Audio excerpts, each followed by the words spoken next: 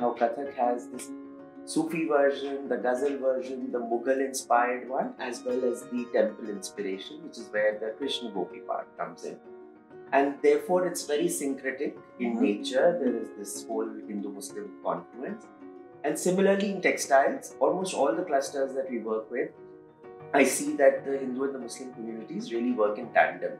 we have specific gharanas in Kathak which are being practiced. But I think also today the confluences happen between them because of the communication and the ease of uh, travel. And now you pick up the best from everything or what appeals to you, right? Like, so you bring a mix.